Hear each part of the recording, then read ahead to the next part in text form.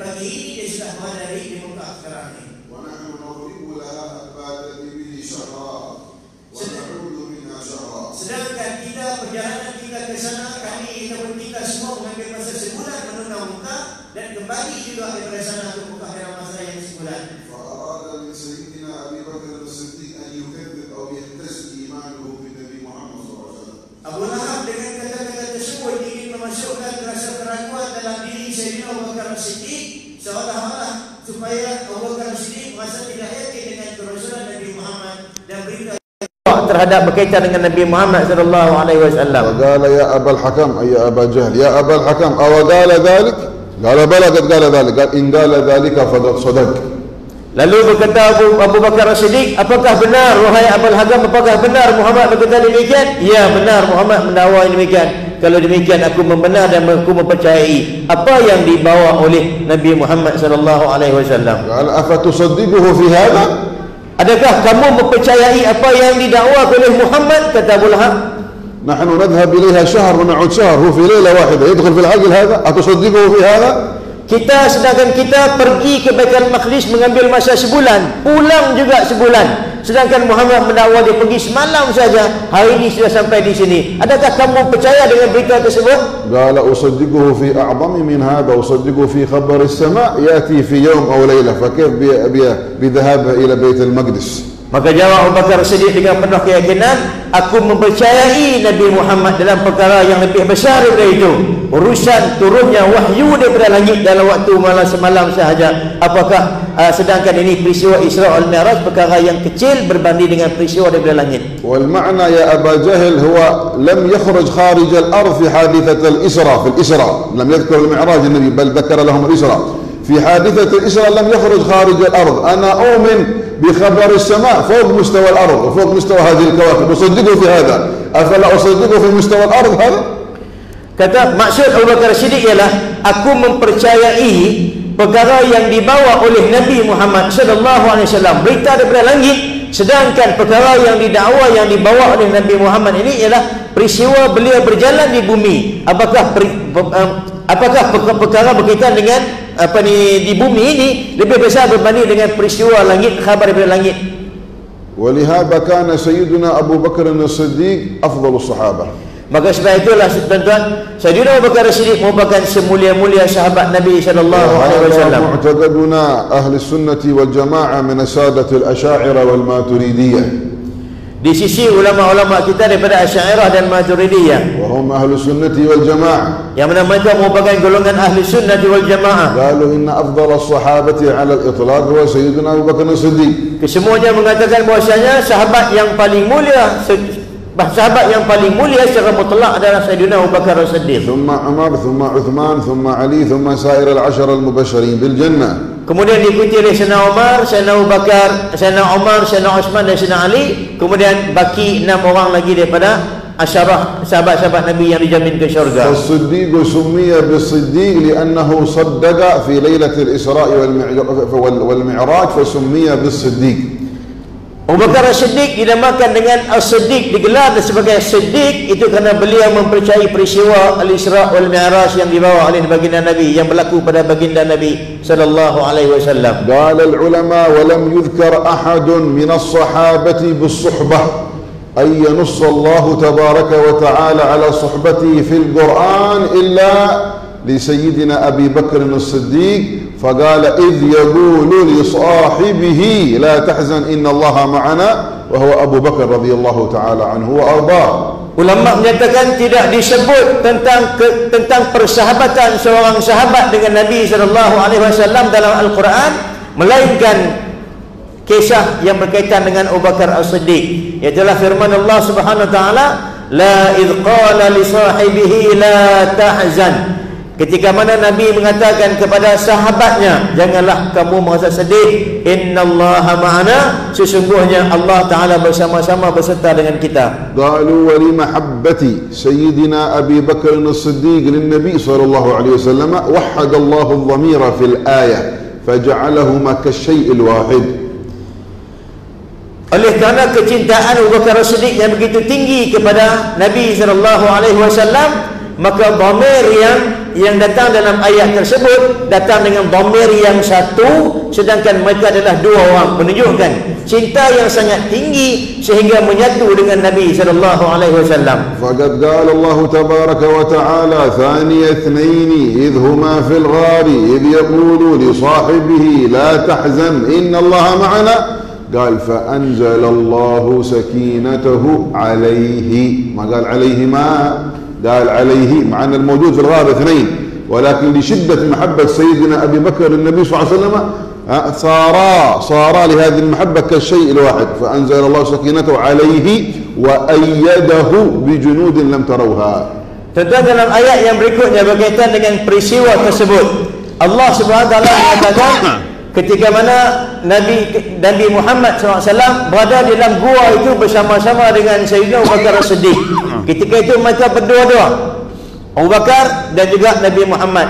Maka Allah Taala mengungkapkan ayat seterusnya fa anzala sakinatahu alaihi. Maka Allah Taala menurunkan ketenangannya ke atas dia. Dia itu satu. Sedangkan dalam dalam gua itu terdapat dua orang.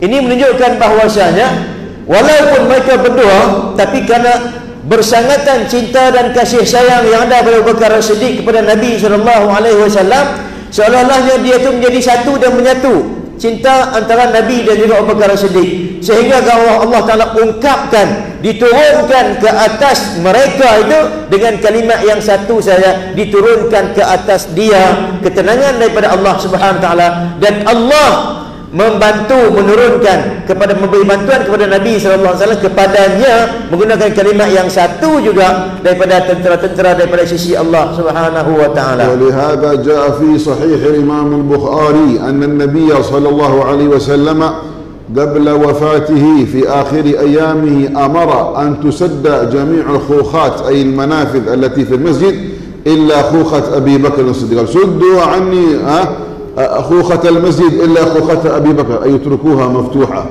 هذا تعظيما وإجلالا لسيدنا أبي بكر الصديق رضي الله تعالى عنه وأرضاه.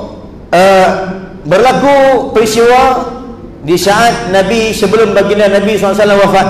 Itu apabila Nabi SAW memerintahkan supaya ditutup segala pintu-pintu yang ada di Masjid Nabawi itu dan biarkan satu pintu sahaja iaitulah pintu Abu Bakar As-Siddiq kerana cinta dan kasihnya Nabi SAW kepada Abu Bakar As-Siddiq dengan kemuliaan yang terdapat pada diri beliau نعم وجاء في صحيح الإمام البخاري كذلك مروا أبا بكر فليصلي بالناس Dalam sahih Imam Al-Bukhari juga tuan-tuan datang bagaimana Nabi SAW memerintahkan para sahabat supaya eh, apa ni Abu Bakar As-Siddiq dijadikan sebagai imam dalam sembahyang dengan dengan mereka. فقالت ابنته سيدة عائشة وكانت ذكية زوج النبي صلى الله عليه وسلم قالت يا رسول الله إن أبا بكر رجل أسيف يعني سريع البكاء يبكي في الصلاة قال فمر أحد غيره قال إن كنا صواحب يوسف مروا أبا بكر فليصلي بالناس Tuan-tuan, apabila Nabi memerintahkan supaya Abu Bakar dijadikan sebagai imam dalam sembahyang,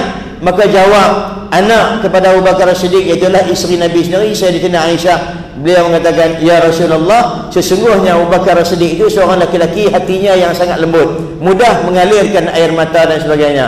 Jadi maka carilah orang lain sebagai ganti Abu Bakar untuk jadi imam Nabi kata kalian ini seperti wanita-wanita di zaman Yusuf maka perintahkan Abu Bakar supaya dia menjadi imam dalam sembahyang dengan dengan sahabat-sahabat yang lain قال العلماء وإنما قالت السيدة عائشة رضي الله تعالى عنها وأرضاها هذا قالت لخشيتها من كراهة قلوب الناس لمن يقف مقام رسول الله صلى الله عليه وسلم هذا مقام لا يقف إلا رسول الله يؤم الناس فإذا جاء واحد مكانه ربما تكره قلوبهم أن يقف هذا مكان رسول الله لأنه لا, لا أحد يوازي رسول الله صلى الله عليه وسلم فخافت على على على أبيها أن يكرهه أن يكرهه الناس وهذا من ذكائها.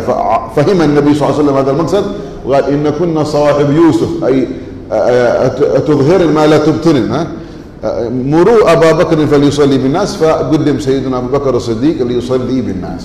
Tuan-tuan, uh, Sayyidatina Aisyah radhiyallahu taala anha uh, apabila dia mengatakan kepada Nabi bahwasanya Abu Bakar seorang manusia yang hatinya lembut, mudah menangis dan sebagainya ialah kerana beliau tidak ingin sesuatu yang tidak baik berlaku pada Abu Bakar Siddiq. Mungkin beliau akan dibenci oleh orang lain dan sebagainya kerana menjadi imam dan berdiri di tempat berdirinya Nabi sallallahu alaihi wasallam. Ini adalah tempat Nabi yang dikhususkan kepada Nabi sallallahu alaihi wasallam. Apabila ada orang lain yang berdiri di sana, maka seolah-olah ada orang yang cuba mengambil tempat baginda Nabi SAW ketika Nabi masih hidup. Maka akan menimbulkan perasaan tidak enak, marah, benci orang lain terhadap orang yang jadi imam. Maka beliau tidak inginkan perkara yang demikian berlaku kepada ayahnya Abu Bakar Siddiq. Ini adalah kebijaksanaan Sayyidatina Aisyah apa yang beliau dapat baca lihat yang kemungkinan akan berlaku di masa yang yang depan maka beliau mencadangkan supaya di apa dicadangkan orang lain untuk jadi imam. Tetapi nabi berkeras mengatakan bahawasanya perintahkan Abu Bakar Siddiq jadi imam dalam solat dengan sahabat-sahabat yang lain. Dan wa fi hadha dalilun ala sihhati khilafatih 'inda sunnah wal jamaah. Tetapi di sini ulama mengatakan dalil yang nabi memerintahkan Abu Bakar Siddiq jadi imam menunjukkan bahawasanya sah dalil tentang kesahihan khilafah Abu Bakar Siddiq di sisi ahli Sunnah wal Jamaah. وفيه رد على الشيعة الذين ينتقدون وينتقصون مقام سيدنا أبي بكر As-Siddiq radhiyallahu taala anhu arda. Dalam hadis tersebut juga merupakan hujah yang sangat kuat untuk menolak pendapat dan juga pandangan golongan Syiah yang merendah-rendahkan yang menolak kepimpinan Sayyidina Abu Bakar Siddiq radhiyallahu taala anhu warda. Oleh hadza thabata an Sayyidina Umar wa an سيدنا علي وقد أورد هذا الحافظ الإمام السيوطي في كتابه سير الخلفاء. قال أن سيدنا علي وسيدنا عمر قال قد رضينا لدنيانا. أي الخلافة ما رضيه رسول الله صلى الله عليه وسلم لديننا. أنت قدمك للصلاة جعلك إمامنا. ما نجعلك إمامنا في الدنيا؟ جعلك الله لنا إما- إماما في الدين. فكيف بالدنيا؟ والدنيا أقل من الدين. قال رضينا بمن بمن أقام رسول الله صلى الله عليه وسلم ليش لديننا ها؟ أفلا نرضاه لدنيانا Al-Imam Musayyuti menukilkan dalam kitab beliau Siratul Khulafa kalam yang diucapkan oleh Sayyidina Abu Bakar As-Siddiq dan juga kalam yang diucapkan oleh Sayyidina Umar Al-Khattab dan juga Sayyidina Ali bin Abi Talib mengatakan radina kami reda dengan seseorang yang dilantik oleh Nabi sallallahu alaihi wasallam sebagai ketua dalam urusan agama kami maka kami reda beliau menjadi ketua dalam urusan dunia kami. Kalau beliau diredai oleh Nabi sallallahu alaihi wasallam ditunjuk oleh Nabi untuk menjadi ketua pemimpin pemimpin dalam urusan agama apakah beliau tidak layak menjadi pemimpin dalam urusan keduniaan kami? Ini ucapan yang diucapkan oleh Sayyidina Umar dan juga Sayyidina Ali radhiyallahu taala anhum ajma'in. Walakin unzuru ila mahabbati Sayyidina Abi Bakar As-Siddiq lin Nabi sallallahu alaihi wasallam. lihatlah tuan-tuan bagaimana kasih dan cinta yang sangat mendalam yang ditunjukkan oleh Sayyidina Abu Bakar As-Siddiq terhadap Nabi sallallahu alaihi wasallam فقد روى الإمام البخاري في صحيحه telah meriwayatkan oleh Al-Imam Al-Bukhari dalam kitab sahihnya قوله رضي الله تعالى عنه وأرضاه سيدنا أبي بكر ارببوا محمدا في آل بيته أي من أراد أن ينظر النبي فلينظر إلى آل البيت ارببوا يعني انظروا محمدا في آل بيته هذه محبة سيدنا أبو بكر الصديق للنبي وما اتصل بالنبي صلى الله عليه وسلم uh, ucapan yang diucapkan oleh Sayyidina Abu Bakar As-Siddiq dalam hadis yang diriwayatkan oleh Al-Imam Al-Bukhari katanya lihatlah Nabi Muhammad sallallahu alaihi wasallam pada ahli keluarganya yakni sesiapa yang ingin melihat Nabi yang ingin mencari keredaan Nabi yang ingin mendekat mendapat kecintaan Nabi maka carilah keredaan kecintaan tersebut melalui ahli keluarga Nabi dan apa jua yang ada hubungan dengan baginda Nabi sallallahu alaihi wasallam. Fadhi mahabbatuhu ha, li ali bait Nabi sallallahu alaihi wasallam fa kaifa bi lin Nabi sallallahu alaihi wasallam. Kalau inilah kecintaan yang ditunjukkan dalam ucapan beliau terhadap ahli keluarga Nabi sallallahu alaihi wasallam bagaimanakah besar dan cintanya kasih sayang Abu Bakar Siddiq terhadap Nabi sallallahu alaihi wasallam itu sendiri. ولهذا ربما لو سمع قوله في البخاري بعض الناس في زماننا هذا لقال هذا أبو بكر شيعي هذا هذا من الشيعة. كيف يقول أرقبوا محمد في آل بيت يعظم آل البيت ويحب آل البيت بهذه المحبة الكبيرة العظيمة؟ نقول لا هو إمام أهل السنة والجماعة ومن منهج أهل السنة والجماعة محبة الصحابة وتعظيم الصحابة ومحبة آل البيت وتعظيم آل البيت. Mungkin apabila orang mendengar kalam yang diucapkan oleh Sayyidina Abu Bakar Siddiq ini, orang akan mengatakan ini adalah ucapan yang yang membawa kepada fahaman Syiah. Karena menggalakkan manusia supaya menyintai keluarga Nabi, mengutamakan keluarga, Nabi, memandang mencari keredaan Nabi dan kasih sayang Nabi melalui ahli keluarga Nabi sallallahu alaihi wasallam. Sedangkan Abu Bakar Siddiq adalah imam ahli sunnah. Beliau merupakan pemimpin kepada ahli sunnah. Ucapan yang beliau ucap tadi menunjukkan tentang kewajipan dan juga kepentingan uh, pada kedudukan keluarga baginda Nabi sallallahu alaihi wasallam di sisi ulama ahli sunnati wal jamaah seluruhnya. ولهذا آه، في هذه الأيام الآن لو سمع أحد من آه، من المسلمين أحدا من العلماء يذكر شيء من مناقب آل البيت يذكر مناقب سيدنا علي يذكر مناقب سيدتنا فاطمة الزهراء يذكر مناقب الحسن يقول آه إيش هذا إيش هذا هذا شيعي. سبحان الله عجيب ها إذا لم يحب أهل السنة الصحابة وإذا لم يحب أهل السنة أهل البيت من من سيحب الصحابة من سيحب أهل البيت؟ Tuan-tuan, kalaulah hari ini ada orang yang mendengar seorang ulama yang mengajar kita, mengajar kita, mendorong kita supaya kita menyintai ahlul bait ataupun membaca manaqib-manaqib, cerita-cerita yang berkaitan dengan kemuliaan ahlul bait. Sayyidina Ali bin Abi Talib sebagai contoh, Fatimah Az-Zahra, Hasan Husin dan sebagainya. Maka tentulah akan ada orang yang akan menyangkakan ini adalah suatu seruan ke arah ajaran Syiah. Sedangkan menyintai keluarga Nabi dan juga Ahlul Bain ini adalah merupakan perkara yang diwajibkan, perkara yang amat diutamakan oleh Ahlus Sunnah wal Jamaah. Dan tidak ada kena mengena langsung dengan yang namanya Syiah itu.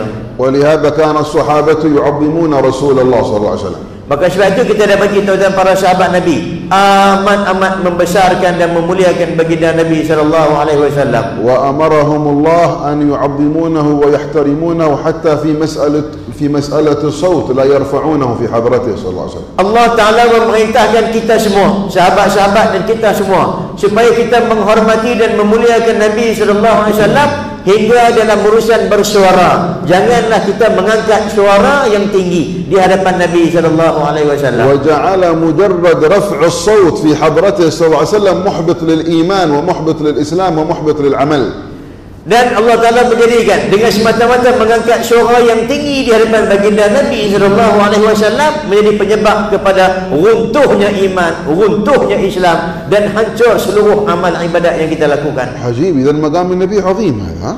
tuan-tuan, alangkah tingginya kedudukan Nabi sehingga kan mengangkat suara sahaja boleh menyebabkan berlakunya perkara-perkara yang kita sebutkan tadi. Naam bala maqam Nabi Azim. Qala Allah fi al-Hujurat. يا أيها الذين آمنوا لا ترفعوا أصواتكم فوق صوت النبي ولا تجهروا له بالقول كجهر بعضكم لبعض. أي معنى كجهر بعضكم لبعض؟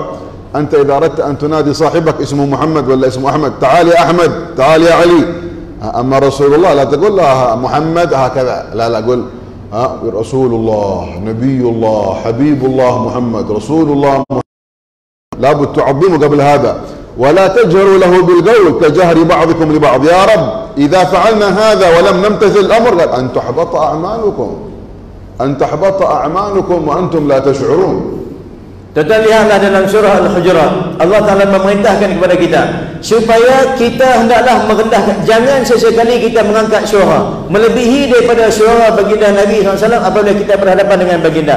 Dan jangan sesekali Kita memanggil Nabi SAW Seperti mana kita memanggil kawan-kawan kita kita panggil kawan kita dengan nama biasa Ahmad, Muhammad dan sebagainya. Maka untuk Nabi SAW sepatutnya dipanggil dengan Ya Rasulullah, Ya Nabi Ya Allah dan sebagainya. Kerana perbuatan yang memanggil Nabi dengan nama yang biasa. Seperti kita memanggil kawan-kawan dan orang lain akan jadi penyebab kepada runtuh dan rosaknya amalan-amalan yang kita lakukan. قال, قال الله بعد هذا إن الذين يغضون أصواتهم عند رسول الله أولئك الذين امتحن الله قلوبهم للتقوى لهم مغفرة وأجر عظيم Dalam ayat yang ada Allah Taala mengatakan orang-orang yang merendahkan suara mereka di sisi Nabi sallallahu alaihi wasallam itulah orang-orang yang hatinya diuji dengan ketakwaan bagi mereka ke keampunan dan juga uh, balasan yang besar di sisi Allah Subhanahu wa taala. ولهذا كان الصحابة يعظمون النبي صلى الله عليه وسلم بل يعظمون حتى ما اتصل به من شعره وملابسه ووضوئه وآثاره صلى الله عليه وسلم وبارك عليه وعلى آله Tuan-tuan, dari situlah kita dapati para sahabat Nabi amat memuliakan, amat membesarkan baginda Nabi SAW bukan sekadar Nabi bahkan segala yang berkaitan dengan Nabi itu dimuliakan oleh mereka pakaian Nabi, rambut Nabi bahkan saki baki wuduk air wuduk Nabi juga mereka akan memuliakannya فقد روى الإمام البخاري كذلك ومسلم أن آه، أن الصحابة كانوا يقتتلون على وضوئه صلى الله عليه وسلم فكانوا آه، يتبادرون ب- بتلقي وضوءه صلى الله عليه وسلم فإذا أخ- فإذا أصاب أحدهم شيئا من وضوءه مسح وجهه وما استطاع من جسده Tuan-tuan, riwayat Al-Imam Al-Bukhari dan Imam Muslim meriwayatkan kisah bagaimana para sahabat berebut-rebut untuk mengambil air yang menitik dari air wuduk yang menitik daripada tubuh badan Nabi sallallahu alaihi wasallam. Berebut untuk dapatkan air bekas wuduk Nabi SAW Apabila mereka dapat air tersebut akan disapu kepada muka-muka dan tubuh badan mereka. جاء في بعض ألفاظ الحديث أن الذي لم ينله شيء من البلل من الوضوء أخذ من بلل صاحبه مسح يده على جسم صاحبه التي فيها البلل فأخذ من من بلل صاحبه فمسح بها وجهه وما استطاع من جسده Dalam riwayat yang lain menceritakan bagaimana sahabat-sahabat yang datang agak lewat yang tidak dapat air bekas air wuduk Nabi sallallahu alaihi wasallam maka dia akan mengambil daripada uh, tubuh badan sahabatnya yang basah tadi ni basah daripada air wuduk Nabi dan ambil air tersebut disapukan pada badannya sendiri. Bal bal kana as-sahabatu yatabarrakuna hatta bi nukhamatihi sallallahu alaihi wasallam bi musaghih sallallahu alaihi wasallam. Bahkan tentang para sahabat mengambil keberkatan daripada Nabi sallallahu alaihi wasallam sehingga kan mereka mengambil keberkatan daripada air liur, air ludah Nabi sallallahu alaihi wasallam. فإذا أراد أن يتنخم صلى الله عليه وسلم تلقاها بعض الصحابة فمسح بها شيئا من بدنه تبركا لأنها كانت تنضح بالمسك Tuan-tuan kalau Nabi berludah Ludah Nabi tidak akan sampai ke tanah tuan-tuan.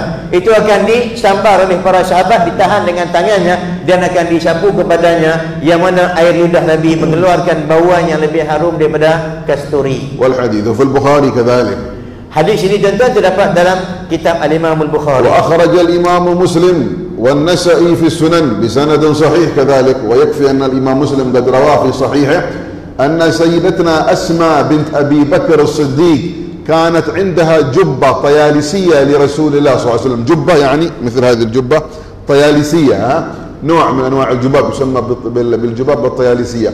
قالت فكنا نستشفي بها للمرضى فكنا نستشفي بها للمرضى ونتبرك بها.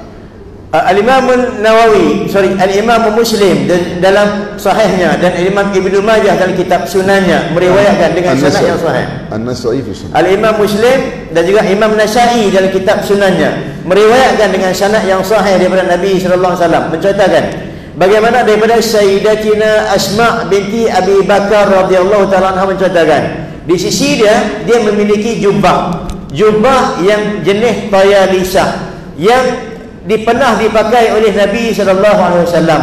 Yang mana beliau mengatakan kami menggunakan jubah tersebut nastashfi biha. Menggunakan jubah tersebut untuk mencari kesembuhan kepada orang-orang yang sakit di kalangan kami. Apabila ada orang yang sakit maka kami menggunakan jubah tersebut sebagai sebagai sebab untuk mendapat kesihatan dan kes, ke, apa ni kesembuhan daripada penyakit dan juga mendapat keberkatan kepada daripada Allah Taala melalui jubah yang pernah dipakai oleh baginda Nabi sallallahu alaihi wasallam. فكان المريض يأتي إلى أسماء ويقول بي كذا وكذا فتخرجه الجبة وتحضر إناء من الماء فتغمس الجبة في الجبة ثم ترفعه فتقول اشرب من هذا واغتسل منه فما يشرب ويغتسل إلا ويشفيه الله سبحانه وتعالى Apabila ada orang sakit datang bertemu dengan Asma binti Abu Bakar menceritakan saya sakit begini begini begini maka Asma binti Abu Bakar akan mengeluarkan jubah Nabi SAW direndamkan ke dalam air dan diangkat maka dia mengatakan minumlah air bekas rendaman jubah Nabi dan mandilah dengan air tersebut maka dengan izin Allah Subhanahu Wa Taala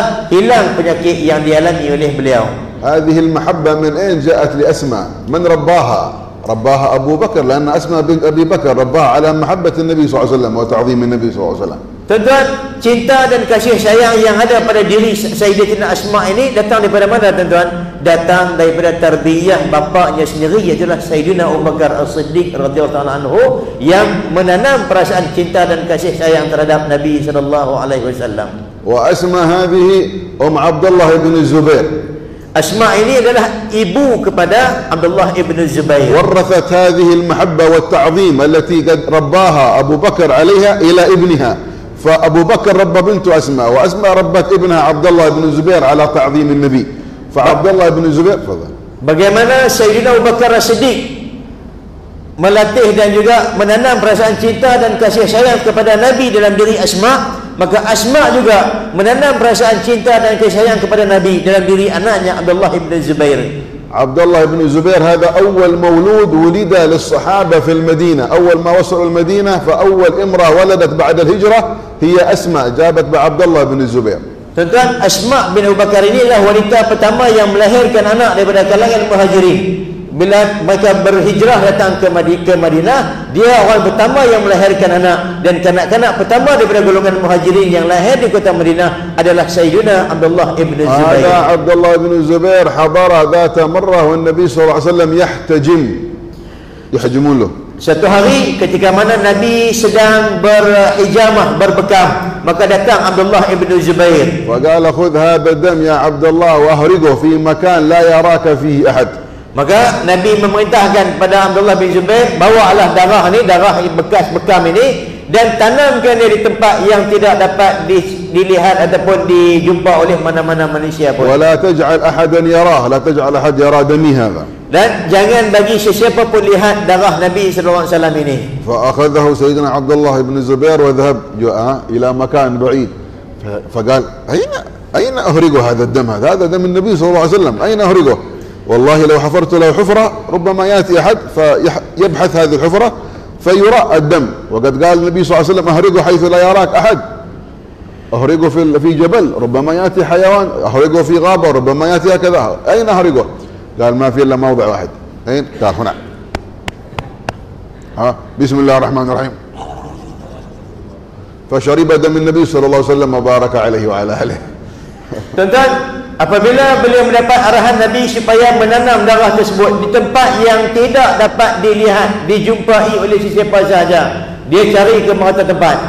Dia kata kalau saya korek dengan tanah, mungkin ada orang yang akan jumpanya. Kalau saya tanam di bukit, mungkin ada binatang yang akan mengorek tanah darah Nabi sallallahu alaihi wasallam.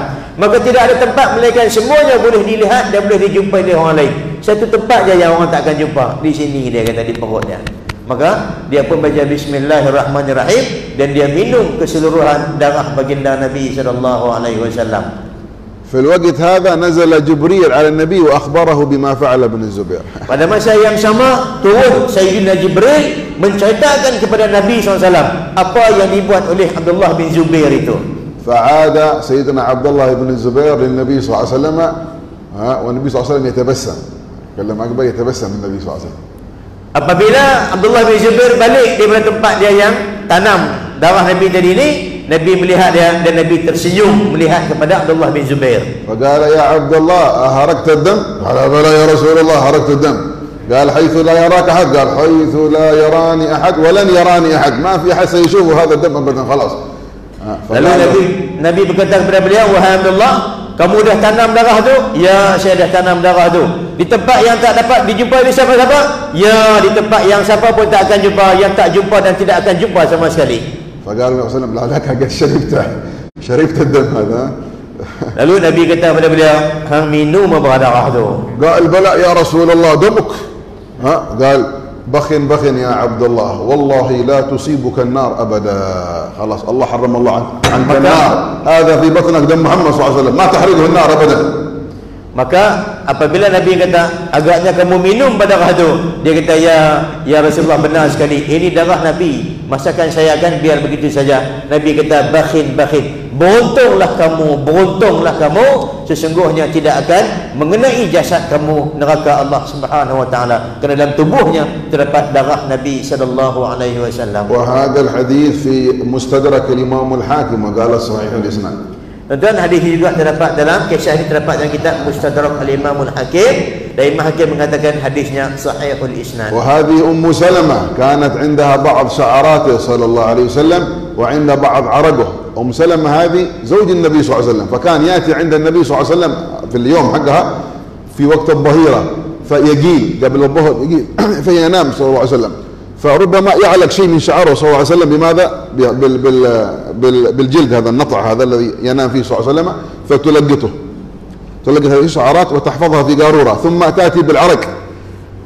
هكذا تسلته تسلته ثم تعصره فاجتمع لها عده مرات في القاروره من عرقه صلى الله عليه وسلم شيء Tuan-tuan, um, Sayyidatina Ummu Salamah radhiyallahu anha isteri Nabi sallallahu alaihi wasallam apabila Nabi datang ke rumahnya untuk tidur di sana dan di waktu tengah hari Qailulah dia bila Nabi tidur dia akan berpeluh peluh Nabi itu akan lekat di tempat hamparan yang Nabi tidur dan uh, rambut-rambut Nabi juga ada yang yang gugur di situ lalu Sayyidatina Ummu Salamah akan mengambil rambut-rambut Nabi ni dan akan memerah. Dia akan ambil dia kumpul peluh-peluh Nabi yang terlekat tempat tadi. Dia akan diperah masukkan ke dalam karurah botol yang macam ni. Sampai beberapa kali terhimpun daripadanya apa ni rambut-rambut Nabi dan juga peluh-peluh Nabi SAW dalam botol yang sebegini rupa. Faraahan Nabi dah tiom kala ya Um Salma ma taf'alin? قالت عرقك يا رسول الله أن نجمعه فنجعله في طيبنا فهو أطيب الطيب يعني نحن حقنا طيب العطر هذا ما هو زين لكن لما نحط له شوية من عرقك يكون حقنا العطر زين قال فهو أطيب الطيب Lalu satu hari Nabi melihat perbuatan Ummu Salamah yang mengambil memerah peluh Nabi yang ada di tempat tidur tadi ni. Lalu Nabi kata, "Wahai Ummu Salamah, apa yang kamu buat tu?" Ummu Salamah mengatakan, "Saya mengambil peluh Nabi sallallahu alaihi wasallam untuk dicampur dalam apa ni minyak wangi-wangian kami. Kerana minyak wangi yang kami miliki ini tidak wangi dan kurang enak baunya. Bila dicampur dengan peluh Nabi SAW dia akan jadikan minyak tersebut sangat wangi dan sangat harum baunya. Wa galat wa nastashfi bih. Dan kami juga menggunakan peluh Nabi ini untuk digunakan sebagai ubat sebagai ubat untuk untuk sifat kesembuhan daripada penyakit. وكان بعد وفاة النبي صلى الله عليه وسلم إذا حصلت لأحد عاهة أو مرض يجي إلى عند أم سلمة فتخرج له شعرات النبي صلى الله عليه وسلم وتجعلها في مخضب وعاء هكذا فتجعل فيه ماء ثم, تضع هذه الشعرات فتدير هكذا بالماء ثم تقول له اشرب. فإذا شرب شفاه الله سبحانه وتعالى من المرض. Ada orang yang apabila sakit tuan-tuan datang bertemu dengan Sayyidatina Ummi Salamah mengadu tentang dia sakit. Ummi Salamah akan mengeluarkan rambut Nabi yang dia miliki tadi dan dimasukkan ke dalam bekas air gitu dalam mangkuk air dan dia akan kocak-kocak rambut Nabi dalam bekas tersebut lalu diberi minum pada orang yang sakit maka dengan izin Allah Taala sembuh pada waktu itu juga segala sakit yang dialaminya. Wa lihadha kana as-sahabatu yu'azzimuna an-nabi hatta ba'da wafatihi Sebab itu tuan kita dapati sahabat-sahabat sangat memulia dan mengagungkan Nabi sallallahu alaihi wasallam sehinggalah selepas walaupun selepas Nabi wafat. وقد ثبت أن سيدنا عبد الله بن عمر بن الخطاب وجماعة من الصحابة كانوا يأتون إلى الرمانة رمانة المنبر المنبر هذا في رمانة مثل هذه كان النبي صلى الله عليه وسلم إذا أراد أن يخطب هكذا مسكها يمسك حقه ال- ال- ال- العكاز هكذا العصا وال- والرمانة يمسكها هكذا ثم يخطب يتكلم فيأتون إلى هذه الرمانة ويتمسحون بها يتبركون بها ها ثبت هذا عن سيدنا عبد الله بن عمر رضي الله تعالى عنه وأرضاه Tuan-tuan sabit daripada Sayyidina Umar bin Abdullah Sayyidina Umar Abdullah bin Umar bin Al-Khattab dan juga sahabat-sahabat yang lain. Selepas Nabi wafat, mereka mendatangi uh, mimbar Nabi SAW dan mereka memegang di kayu yang ada di hujung mimbar Nabi itu. Nabi bila berkhutbah, tangan kanannya akan memegang tongkat dan tangan kirinya berpegang pada hujung mimbar tadi ini. Maka mereka datang pada tempat yang pernah bersentuhan dengan tangan Nabi itu Mereka akan sapu di situ Dan sapu ke muka ke muka mereka نعم بل وياتي الى المكان الذي يقعد فيه النبي صلى الله عليه وسلم للخطبه مقعد النبي صلى الله عليه وسلم اذا اذا خطب بين الخطبتين يقعد النبي صلى الله عليه وسلم شيئا يسيرا مده من آه، يستغفر له يستغفر المستمعون ثم يقوم صلى الله عليه وسلم المكان هذا ياتي ابن عمر فيمرق وجهه يضع وجهه كذا واحيانا يضع يده ثم يمسح بها وجهه تبركا لموضع المكان الذي كان يجلس فيه رسول الله صلى الله عليه وسلم Bahkan Sayyidina Abdullah bin Umar sendiri pernah datang ke tempat ke tempat yang Nabi duduk ketika khutbah. Kan khutbah tu Nabi berdiri, tengah-tengah khutbah Nabi akan duduk. Jadi tempat yang pernah diduduki oleh Nabi SAW dan dia akan meletakkan mukanya pada tempat yang pernah diduduki oleh baginda Nabi SAW bahkan kadang-kadang dia sapu dengan tangan dan disapukan ke mukanya sebagai mengambil keberkatan tempat yang pernah bertemu yang ber, pernah bersentuhan dengan baginda Nabi SAW. نعم وبل بلغ ببعض الصحابة أنهم إذا اشتاقوا للنبي صلى الله عليه وسلم بعد وفاته يأتون إلى قبره الشريف فيمرغون وجوههم في قبره الشريف Tuan-tuan sampai ke peringkat apabila terdapat di kalangan sahabat-sahabat yang terlalu rindukan baginda Nabi SAW selepas kewafatan baginda Nabi SAW maka akan datang ke kubur Nabi dan juga meletakkan muka mereka di atas tanah kubur baginda Nabi sallallahu alaihi وقد wasallam. أخرج الإمام الإمام الحافظ ابن عساكر في تاريخ دمشق بسند جيد Al-Imam Ibnu Asakir telah mengeluarkan dengan sanad yang jayid dalam kitabnya Tarikh Dimashq وقد نص على جودة سنده عدد من الحفاظ yang mana uh, sebahagian sebahagian beberapa orang di kalangan ulama-ulama hadis mengatakan sanad hadis tersebut adalah sanad yang jayyin. Nassa ala hadha al-imam al-hafiz at-taqi subki fi kitab shifa as-siqam al-imam taqiuddin as-subki juga menyebut hadis tersebut di dalam kitab shifa as-siqam wa nassa ala hadha al-imam al-hafiz as-salihi syami fi subul al-huda wal-rashad. Kitab fi sirah azim. Al-Imam uh, Al-Imam As-Salihi sebut dalam kitab sirah yang sangat besar itu kitab Subulul Huda wa Rasul ala sihhati wa jawdati isnadihi al-Imam al-Muhaddith al-Qadhi As-Sumhudi Qadhi al-Madinah القضي السمهودي الإمام السمهودي خلاصة الوفاء الإمام السمهودي menyebut dalam kitab beliau juga وهو قاضي المدينة المنورة في القرن التاسع قاضي المدينة المنورة قالوا أن سيدنا بلال بلال ابن أبي رباح مؤذن النبي صلى الله عليه وسلم بعد وفاة النبي في خلافة عمر انتقل إلى منطقة بالشام اس- اسمها دارية اسمها دارية Uh, mereka mencontohkan bahawasanya selepas kewafatan Nabi sallallahu alaihi wasallam Bilal bin Rabah radhiyallahu taala anhu berpindah ke Syam di sebuah tempat yang bernama Dariyah.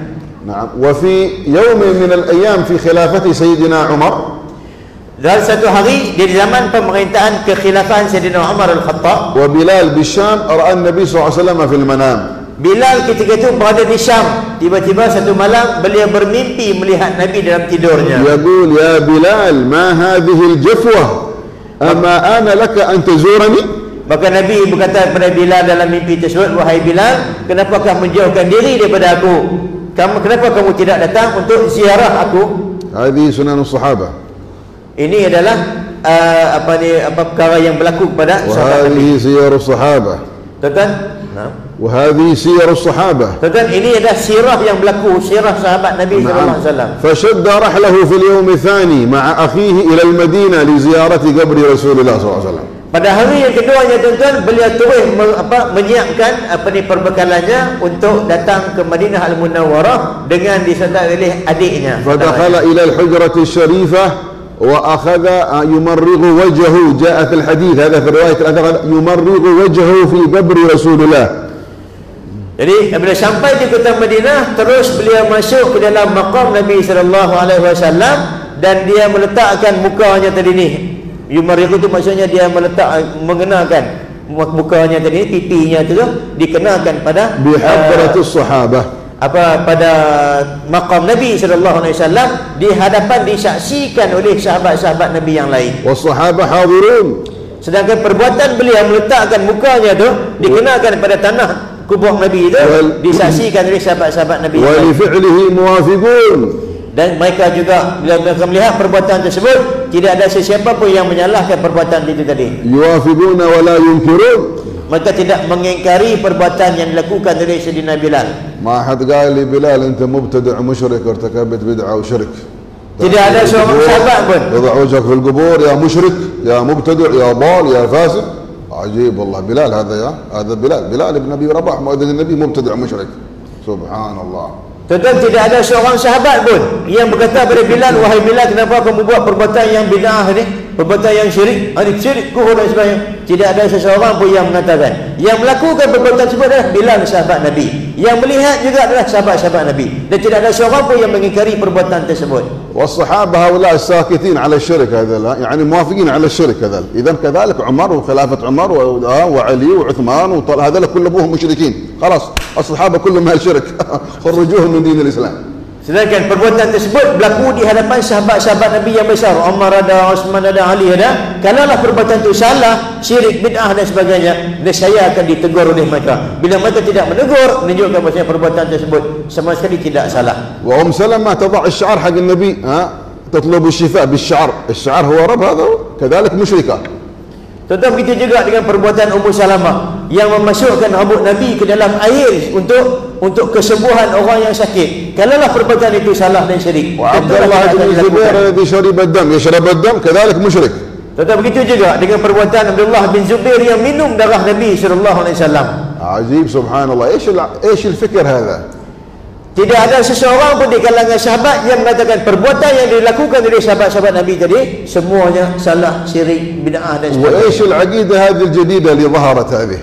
Ya tentu dakwaan perbuatan tersebut sebagai syirik, sebagai kufur, sebagai bid'ah sebagainya. Ini merupakan pemikiran yang baru timbul dalam umat ini. Wa bada tantashir fi Malaysia wa ghair Malaysia. Dan dia sudah mula tersebar di Malaysia dan juga di selain daripada negara kita Malaysia ni. Subhanallah. Fa ha? قال له بعض الصحابة أذن لنا كما كنت تؤذن ها لرسول الله صلى الله عليه وسلم. Lalu sebagian sahabat mengatakan kepada Bilal, wahai Bilal, laungkan azan.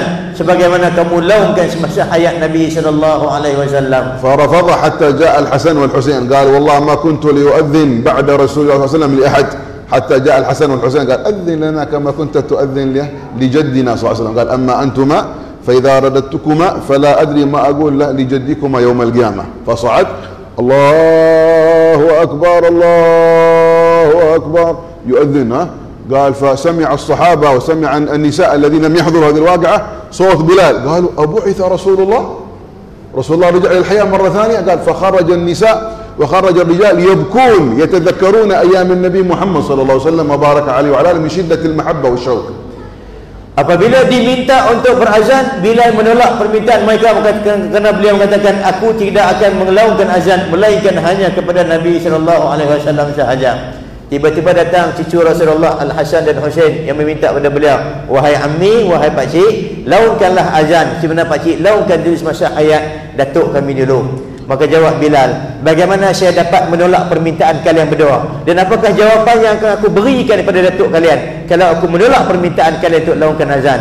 Maka dia pun naik ke atas dan melaungkan azan Allahu akbar Allahu akbar. Apabila dia dah melaungkan azan Allahu akbar Allahu akbar, suara tersebut didengari oleh penduduk-penduduk Madinah yang tidak ada di di masjid ketika tersebut. Maka teringat balik apa yang berlaku. Lalu suara Bilal berkumandang mengingatkan mereka kepada Nabi SAW. Lalu mereka mengatakan, adakah Nabi SAW dibangkitkan semula, dihidupkan semula? Maka keluar penduduk Madinah pada hari tersebut mendengar suara azan Bilal sambil menangis mengalirkan air mata mengenangkan hayat ke hari-hari yang berlalu ketika mereka bersama dengan Nabi SAW kerana kerinduan untuk bersama melihat dan berada bersama dengan baginda Nabi SAW ولهذا يذكر لنا الحافظ الامام الذهبي في كتاب سير اعلام النبلاء Tuan-tuan, Al-Imam Al-Zahabi menceritakan kepada kita dalam kitabnya Syiar A'lamin في Nubala. الجزء الثاني صفحه 212 Dalam juzuk yang kedua muka surat 212. ويذكر كذلك الامام الامام آه، اسمه هذا ال- الإمام الحافظ البدر العيني في كتاب عمدة القاري شرح صحيح الإمام البخاري. Al-Imam Al-Aini menyebut dalam kitabnya Umdatul Qari syarah kepada Sahih Al-Bukhari. ويذكر لنا كذلك الإمام الخطيب البغدادي وعدد من الحفاظ الكبار من حفاظ الأمة في الحديث.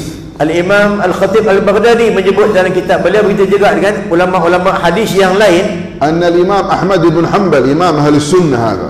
bahwasanya Imam Ahmad bin Hanbal Imam Ahli Sunnah wal Jamaah سئل هل يجوز التبرك بمس الحجره النبويه الشريفه والقبر النبوي الشريف والمنبر النبوي الشريف للتبرك واحد يمس هكذا الحجره تبرك قال لا باس بهذا Ditanya kepada Imam Ahmad bin Hanbal, Imam Ahli Sunnah wal Jamaah, adakah harus untuk kita menyentuh dengan mimbar Nabi, dengan kubur Nabi, dengan bilik yang menempatkan kubur Nabi sallallahu alaihi wasallam lalu jawab Imam Ahmad bin Hanbal harus dan tidak menjadi apa-apa masalah perbuatan tersebut.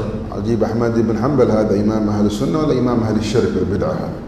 Tuan-tuan, Imam Ahmad bin Hanbal Imam Ahli Sunnah jawab demikian. Masakan Imam Ahli Sunnah buat perkara yang syirik, tuan-tuan? Nahnu 'indana Imam Ahli Sunnah. Tuan-tuan, kita terdapat ramai di kalangan kita tuan imam-imam di kalangan ahli sunnah wal jamaah. بعض الناس عندهم التبرك هذا ولا ولا هذا بدعه وشر هذا فيكون عندهم احمد بن حنبل امام اهل الشرك هذا يعني كيف يقول هذا يجوز ويتبرك ولا باس به بالقبر بالحجره النبويه وبالمنبر مقعد النبي صلى الله عليه وسلم ايش هذا؟ Ada orang yang mensyirikkan, membid'ahkan orang yang menyentuh dengan mimbar Nabi dan sebagainya. Sedangkan Imam Ahmad bin Hanbal, Imam Ahli Sunnah sendiri mengatakan perbuatan itu harus dan tidak menjadi apa-apa kesalahan. بل يذكر لنا يذكر لنا ها الإمام ابن قدامة عبد الغني ابن قدامة المقدسي في كتاب الحكايات المأثورات. الحكايات المأثورات يروي يروي عن نفسه بما جرى له هو. Al-Imam Abdul Ghadi Al-Maqdusi dalam kitabnya Al-Marwiyatul Ma'thurat. Menceritakan tentang peristiwa yang berlaku terhadap diri beliau sendiri. Wa huwa min kibar a'immatul Hanabilah. Yang mana beliau termasuk di kalangan ulama-ulama Hanbali yang besar. Yaqul asabani dummal fi usbu'i, dummal yani waram, waram shadid fi usbu'i, fa'alajtuhu fama wajadtu lahu 'ilaj. Uh, dia berkata bahasanya tangan aku ni dia kata uh, ah, jadi macam bengkak bengkak di tangan aku ni dan aku berubat di merata tepat tapi tidak tidak sembuh dan tak hilang sakit tersebut Qal fa dhahabtu li ziyarat qabr Ahmad bin Hanbal في Baghdad. lalu aku pun pergi ziarah kepada maqam Imam Ahmad bin Hanbal di Baghdad Qal fa masahtu bi usbu'i qabrahu qabrahu qal fa infajarat min hadhihi wa shafani Allah subhanahu wa ta'ala. lalu aku sentuh tangan yang sakit ini pada kubur Imam Ahmad bin Hanbal maka Allah Taala berikan kesembuhan kepada aku dengan sebab yang demikian. ويقول ابن حبان في كتابه لا في كتابه الثقات ابن حبان صاحب صحيح ابن حبان تعرفونه له كتاب اسمه الثقات كتاب الثقات لم يترجم لرواة الحديث فلما وصل عند علي ابن الرضا علي ابن الرضا بن موسى الكاظم بن جعفر الصادق الإمام علي الرضا هذا قبره فين قبره؟ قبره بتوس الآن موجود عند الشيعة ها؟ لكن كانت هذه توس من أهل السنة. فقال والله ما أصابتني حاجة ولا نائبة ولا هم ولا ضيق ولا كرب إلا وقصدت قبر علي الرضا فدعوت الله دعوت الله ما علي رضا دعوت الله عنده إلا وفرج الله عني ببركة آه، ببركة دعائي عند قبره. هذا ابن حبان صحيح ابن حبان. يدعو الله عند القبور ويقصد الأولياء والصلحاء للدعاء عند قبورهم. هذا مسلم ولا ولا غير مسلم؟ هذا مشرك مبتدع هذا ابن حبان. هذا خلاص صحيح صحيح ابن حبان هذا حق واحد مبتدع صوفي كبير هذا براء ها؟ ويقول له مع السلامة هذا مبتدع مشرك في بعض عقول الناس بعض عقول الناس يقول لك هذا. Tuan-tuan Al-Imam Ibn Hibban menceritakan. Kitab nama kitab itu As-Siqat menceritakan tentang perawi-perawi hadis yang siqah yang dipercayai.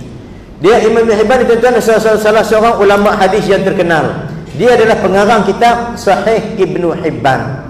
Dia menceritakan, aku apabila aku sakit, aku akan menziarahi kepada maqam Al-Imam Ali bin Ridha bin Musa Al-Kadhib bin Ja'far As-Sadiq. Yang mana Ali Ridha ni tuan-tuan adalah di kalangan ulama ahli sunnah, di kalangan apa ni apa ahlul bait, ulama-ulama ahlul bait yang sangat mulia dan kuburnya sekarang ni ada di Tus, di Tus yang menempatkan ramai orang Syiah di sana. Apabila aku sakit, aku akan pergi ke maqam Al-Imam Ali Ar-Ridha dan berdoa di sana memohon kepada Allah Taala. Tidak ada satu pun yang menimpa aku kalau aku ada hajat, ada sakit, ada masalah apa jua yang menimpa aku, aku akan memohon doa kepada Allah Taala di maqam Al-Imam Ali Ar-Ridha melainkan Allah Taala akan kabulkan segala hajat dan angkat segala masalah yang menimpa diri aku. Tuan-tuan lihat bagaimana beliau tuan-tuan, seorang ulama hadis ahli sunnah yang sangat hebat. Tuan yang memiliki kitab uh, Sahih Ibn Hibban itu juga berdoa di kubur para awliya as-salihin dan sebagainya bahkan tidak menganggap perbuatan tersebut sebagai perbuatan yang syirik bid'ah salah pada pandangan ahli sunnah wal jamaah berbeza dengan orang hari ini yang kalau perbuatan tersebut dilakukan ataupun diceritakan disampaikan nescaya akan dikatakan sebagai syirik mungkar bid'ah dan dan sebagainya ويذكر الخطيب البغدادي في تاريخ بغداد Al-Imam Al-Hafiz. Al-Khatib Al-Hafiz Al-Baghdadi menyebut dalam kitabnya Tarikh Baghdad يذكر بسنده الى الامام الخلال هذا امام الحنابلة الذي جمع الذي جمع مذهب احمد بن حنبل dia Imam menyebut, Al-Khalal Abu Bakar Al-Khalal dia menyebut dengan sanadnya sampai kepada Imam Abu Bakar Al-Khalal salah seorang tokoh ulama mazhab Hambali yang terkenal yang menghimpunkan mazhab Imam Ahmad bin Hanbal ma yaqul Al-Khalal qal ma hammatni hajah Kata Imam Al-Khalal ini, apabila aku memiliki sesuatu hajat dan keinginan, fa aradtu qada'aha. Ya aku inginkan hajat aku itu itu tertunai. إلا وقصدت قبر موسى بن جعفر موسى الكاظم بن جعفر الصادق دعوت الله دعوت الله عنده إلا واستجيب لي Melainkan aku Maqam Musa Al-Kazim bin Ja'far As-Sadiq dia lakukan berdoa berdoa memohon kepada Allah Subhanahu wa taala di sisi maqam al-imam Musa al-Kadhim melainkan hajat dan keinginan-keinginan aku akan dikabulkan oleh Allah Subhanahu wa taala. Tu'rifun hadha al-khatib al-Baghdadi ma martabatuhu wa ma maqamuhu? Tuan-tuan, kenal tak siapa yang dikatakan Imam Al-Khatib Al-Baghdadi? Apakah martabat dan kedudukan beliau? الذين يقرؤون الآن في علم مصطلح الحديث كتب مصطلح الحديث كلها تعود إلى إلى هذا ها؟ هو الذي حررها ونجحها فبعده انتشر وثبت واستقر مصطلح الحديث فهو الإمام الناشر لعلم مصطلح الحديث يقول هذا الكلام هذا مؤمن ولا مبتدع هذا هذا تقي ولا مبتدع علم مصطلح الحديث عن مبتدع نحن Tuan-tuan, sesiapa sahaja yang mempelajari ilmu mustalah hadis itu imam yang pertama yang menyusun ilmu ini sehingga tersebar ke seluruh dunia adalah Al-Imam Al-Khatib Al-Baghdadi. Dia adalah orangnya yang yang menyusun, yang mengarang kitab-kitab yang berkaitan dengan ilmu mustalah hadis. Dialah yang mengatakan yang menceritakan tentang peristiwa datangnya Imam Al-Khalal ke dalam ke tempat Musa Al-Kadhib dan berdoa di kubur sana. Adakah beliau orang yang yang apa mubtadi' musyrik dan sebagainya? وننهي كلمتنا هذه Tuan-tuan kita ingin nak tutup uh, cakapan kita ataupun بنقل عن ابن الجزري ابن الجزري هذا ترجع إليه أسانيد القراءات ها، أسانيد القراءات العشر في القرآن ها هذه جميع القراءات كلها ترجع في العالم إلى أسانيد ابن الجزري جميع الأسانيد كلها ترجع إلى ابن الجزري هذا ابن الجزري له كتاب اسمه عدة الحسن الحسين Tuan-tuan kita nak tutup perbicaraan kita pada malam ini dengan bawa satu kisah berkaitan dengan yang diceritakan oleh Al-Imam Ibnul Jazari. Ibnul Jazari tuan-tuan imam dalam ilmu qiraat. Jadi mana-mana orang yang belajar ilmu qiraat dan sebagainya akan sampai sanaknya kepada Al-Imam Ibnul Jazari.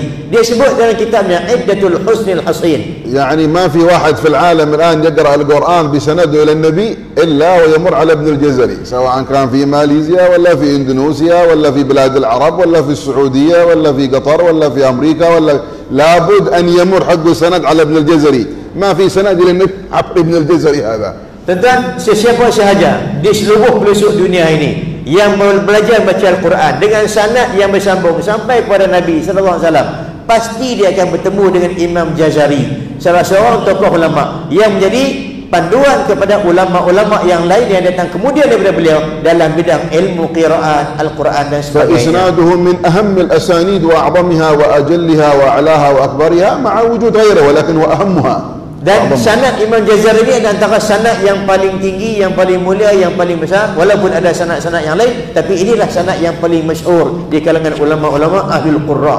اسمع ماذا يقول هذا إمام القراءات Tuan-tuan lihat, dengarlah apa yang disebut oleh imam u- utama dalam ilmu al-quran. nashara lana al-Qur'ana bihadhi al-qira'at bi asanidih. Yang mana beliau menjadi orang yang antara orang yang memimpin peranan penting dalam menyebarkan ilmu Al-Qur'an ke seluruh dunia. Ba'd an-nas law sama hadha al-kalima rubbama ibn al-Jazari yaqul kafir. Jadi sebagian orang kalau dengar ucapan ini mungkin dia akan akan menghukumkan ini ucapan kufur syirik yang sebagai dan sebagainya. Yaqul wa yustahabbu wa yustahabbu ad-du'a 'inda qubur as-salihin wa qad jurriba dhalik. وقد جرب ذلك وقد جرب ذلك. هو يستحب. يستحب. عند القبور. قال وقد جرب ذلك. أنا أنا قال قد جربت. رحت لهناك ودعوت الله الدعاء إلى الله.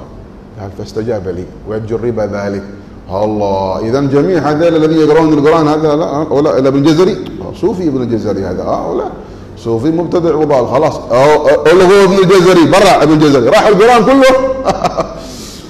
أين أسانيدكم إلى القران لابد أن تمرون عليهم هؤلاء. أين ستذهبون؟ هذا منهج الأمة. لماذا تغيرونه وتبدلونه وتحولونه لماذا؟ بأي ثمن بخس من المال. تضحكون على الأمة بأن هذه بدع وشركيات وخرافات. لماذا؟ لماذا هذا الكذب؟ Tentang Al-Imam Al-Jazari mengatakan disunatkan yustahabbu disunatkan digalakkan. Kita berdoa di sisi kubur orang yang saleh. Beliau Imam Jazari sendiri mengucapkan kalimat ni. Disunatkan digalakkan yustahabbu digalakkan disunatkan berdoa di sisi kubur orang yang saleh. Wa qad jurriba dhalik. Dan aku sendiri telah buat dan dikabulkan oleh Allah Subhanahu wa taala beberapa kali. Aku sendiri pernah buat dan dikabulkan permintaan dan keinginan aku. Aku pernah berdoa kepada Allah Ta'ala memohon hajat dan keinginan aku. Di sisi kubur orang yang saleh dikabulkan permintaanku oleh Allah Subhanahu Wa Ta'ala. Tuan-tuan lihat bagaimana salah seorang ulama dalam ilmu qiraat yang sangat hebat ini mengatakan perbuatan tersebut harus bahkan digalakkan di sunat dan beliau tidak menghukumkan sebagai syirik dan sebagainya. Andai kata kita mengatakan perbuatan ini syirik Bagaimana dengan seluruh sanad-sanad Al-Quran yang ada di dunia ini? Adakah kita nak buang, kita nak tolak?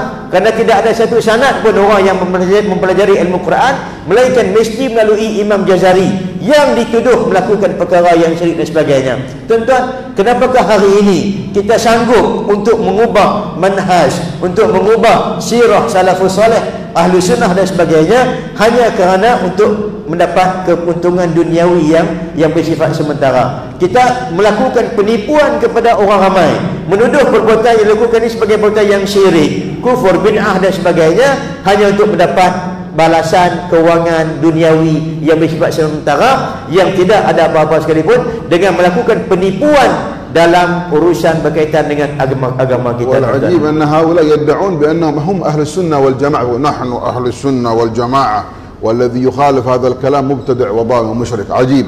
جعلوا أفعال أهل السنة والجماعة وما هم يدرون بدعة. وجعلوا مخالفاتهم هي المبتدعة هي السنة. فقلبوا السنة بدعة والبدعة سنة. Dan yang lebih pelik lagi ialah mereka yang menuduh itu mendakwa diri mereka sebagai ahlus sunnati wal jamaah dan orang yang menyalahi mereka sebagai orang yang muktadik orang yang melakukan perbuatan yang bid'ah. So mereka telah mengubah perbuatan yang bid'ah menjadi sunnah perbuatan yang sunnah menjadi menjadi bid'ah. Inilah yang yang berlaku dalam masyarakat hari ini tuan-tuan. Wal ajib annana najiduhum fi ta'amulihim ma'asyuyukhihum hum yuskutun. Idha fa'alu syaihum يسكتون وإذا فعل غيرهم قولوا بدعة وضلال أما شيخه وهو خلاص تمام تمام يستحب Dan yang aneh dan peliknya tuan-tuan apabila perbuatan yang sedemikian dilakukan oleh syekh-syekh mereka, guru-guru mereka, orang alim di kalangan mereka, mereka akan diam. Tapi kalau perbuatan yang sama dilakukan oleh orang lain akan diviralkan, akan dibesar-besarkan, akan dipersalahkan perbuatan tersebut. فوجدنا مثلا بعض علمائهم في أرض الحجاز في السعودية يؤلف بعض الكتب في مثل هذه الأمور الشركيات والمبتدعات والضلال وكذا التبرك بالصالحين بدعة والتمسح بالقبور شرك وبدعة أو لا؟ بعدين جاء يحدد كتاب البداية والنهاية لابن كثير. في سنة 728 ذكر ذكر جنازة ابن تيمية شيخهم هذا الكبير ابن تيمية أو لا؟ ذكر وفاته. فقال عن الشيخ ابن تيمية فلما توفي جاء الناس يتبركون به. ترجم هذا Tuan-tuan, terdapat di kalangan ulama-ulama Saudi mengarang buku, menulis buku menceritakan tentang mengambil berkat daripada kubur, syirik, bid'ah, orang yang mengambil keberkatan daripada apa ni uh, apa daripada asal-asal Nabi, kesan-kesan peninggalan Nabi, itu dianggap sebagai syirik, bid'ah, kufur dan sebagainya. Tapi anehnya, apabila datang kepada imam-imam mereka, mereka akan diam. Di mana yang disebut oleh Al-Imam Ibn Kathir dalam kitab beliau yang bernama Al-Bidayah wa Nihayah menceritakan peristiwa yang berlaku ketika wafat Al-Imam Ibn Taymiyah. نعم قال بأنهم يتبركون بماذا بالغسول الماء الذي يخرج من حق الجسم هذا عند عند الميزاب خارج البيت قيام عند الميزاب الميزاب يطرح هذا الغسل يتبركون بحقه حق الماء الذي ياخذ بهذا والذي يشرب والذي يغتسل قال يتبركون بهذا Al-Imam Ibn Kathir menceritakan di hari wafatnya Ibn Taymiyah semasa jenazahnya dimandikan air mandian jenazah Ibn Taymiyah itu yang mengalir keluar itu ditahan oleh pengikut-pengikut Ibn Taymiyah ada yang ambil, ada yang mandi, ada yang sapu ke badan bahkan ada yang minum air baki uh, mandian Ibn Taymiyah بل حتى الخيط الخيط الذي يربط به الازار حقه فيه خيط ما في عندنا سبته هذا ما في عنده سبته خيط يجعل له خيط يربط به هذا قال اخذ وبيع بكذا كذا درهم يعني بكذا كذا الف درهم تبركا لانه هذا الخيط مس جسم ابن تيميه فيقبل ويتبرك به Tentu sehingga kan kain yang digunakan untuk dipakai suatu unit hidup itu dipakai untuk ikat badan dia dulu ni untuk ikat-ikat di, di apa untuk pakaian yang dia pakai tadi ni sehingga kan tali yang ikat di situ tu itu dijual dengan sekian-sekian harga yang tinggi dan dibeli oleh orang untuk mengambil keberkatan daripada kain yang pernah bersentuhan dengan tubuh Ibn Taymiyah وصار تلامذته تلاميذ ابن تيمية لما نزلت الجنازة حقه عند الناس يأخذون هذه الأردية فيضعون فوق الجنازة. كل واحد يرمي بحقه هكذا للتبرك. للتبرك لأنه ما- تبرك في أثناء الغسل ما دخله في أثناء الغسل. فيتبرك بماذا؟ بوضع حقه الرداء ثم يرجع بعد هذا فيلبسه تبركا. Tuan-tuan, orang yang tak mampu nak mengambil keberkatan daripada air mandian Ibn Taymiyah yang jauh daripada jenazah Ibn Taymiyah yang tak mampu nak angkat sentuh jenazah Ibn Taymiyah bila jenazah tersebut dibawa jalan maka mereka akan melemparkan kain dilemparkan kemudian ditarik balik ke itu. Supaya kain tadi ni kain yang sentuh dengan dengan uh, kita kata dengan uh, apa ni dengan hanut dengan keranda Ibn Taymiyah tu keranda tu kain yang sentuh keranda Ibn Taymiyah tu untuk semata-mata mengambil keberkatan dicium kain yang sentuh dengan keranda tu untuk mengambil keberkatan Ibn قال Taymiyah ودفنوه فلما دفنوه مكثوا عنده اياما ماذا يفعلون؟ يقرؤون القران يقرؤون القران هو يقرؤون القران على القبور ها يقرؤون القران على القبور نحن نسمع اصحابه هذا بدعه لا لا ابن تيميه هذا حق اصحابه ابن كثير تلامذته يقرؤون القرآن على شيخهم على القبر حق شيخهم. أيام عاد ما هو يوم واحد ولا في ساعة في مسجد لا لا عند القبر في المقبرة داخل المقبرة يقرؤون القرآن على روح شيخهم هذا.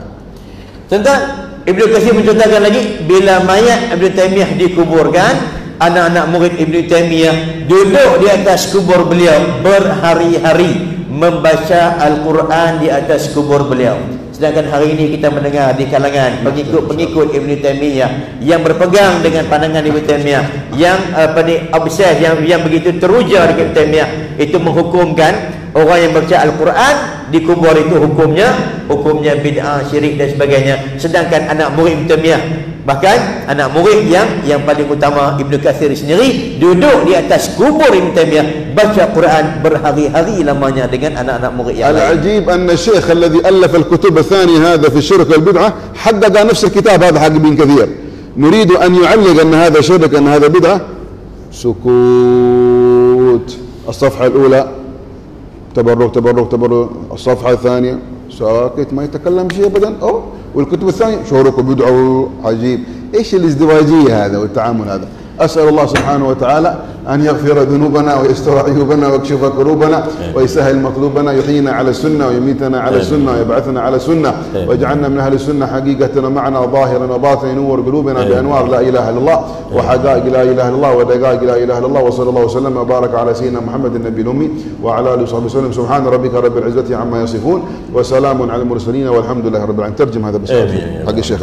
Tuan-tuan, yang peliknya, yang peliknya ialah Syekh yang mengarang buku yang menghukumkan syirik, bid'ah dan kufur orang yang mengambil keberkatan daripada kubur, daripada tempat-tempat kesan-kesan asar Nabi SAW itu dia juga lah orang yang yang mentahkik kitab yang menceritakan tentang peristiwa sewaktu berlaku apa yang berlaku sewaktu kewafatan Ibn Taymiyah bila sampai kepada peristiwa menceritakan tentang orang yang mengambil keberkatan daripada air mandian Ibn Taymiyah apa yang mereka berada di atas kubur Ibn Taymiyah yang menyentuh dengan uh, apa ni keranda Taymiyah dia sama sekali tidak tidak memberi komentar tidak menghukumkan perbuatan tersebut sebagai syirik sebagai kufur dan sebagainya. Tapi bila perbuatan itu dilakukan oleh orang lain dengan lantangnya dia akan mengatakan perbuatan itu salah syirik kufur bid'ah dan sebagainya. Inilah sikap double standard yang diamalkan oleh manusia-manusia sekarang yang berpura-pura sebagai golongan ahli sunnah wal jamaah. Tuan-tuan kat sini dulu apa yang kita sampaikan نعم Dikembang. قول لهم آه، خلص لان ننتهي اذا ربما احد عنده اشكال من خلال الكلام هذا عنده اشكال اذا احبوا بعد الصلاه نصلي من اراد ان ينصرف فلينصرف ومن اراد عنده سؤال ولا اشكال فانا حاضر موجود ساجيب على الاسئله Tuan-tuan, uh, sekarang waktu dah agak apa ni panjang. Jadi kita akan moti cakapan kita di sini.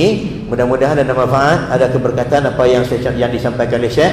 Mudah-mudahan ada ada ilmu yang dapat kita ambil untuk kita amalkan dalam kehidupan kita. Tuan-tuan Syekh beritahu tadi, uh, sesiapa yang ada kemuskilan, yang masih ada keraguan terhadap apa yang beliau sampaikan ni kalau ada soalan yang nak ditanya selepas solat insya nanti boleh kemukakan soalan kepada beliau. Beliau akan tunggu. Dan siapa yang nak balik silakan tak jadi masalah. Ha, jadi siapa yang nak balik silakan. Siapa yang tunggu silakan. Tuan-tuan itu teman kita. Dan sekat ni yang dapat saya terjemahkan. Yang baik daripada Allah Ta'ala salah silap tu kurangan dan sebagainya mudah-mudahan maaf. Mudah-mudahan diberkati oleh Allah Subhanahu Wa Ta'ala. Aku lu qawli hadha wa sallallahu alaihi wa lakum. Wassalamualaikum warahmatullahi wabarakatuh.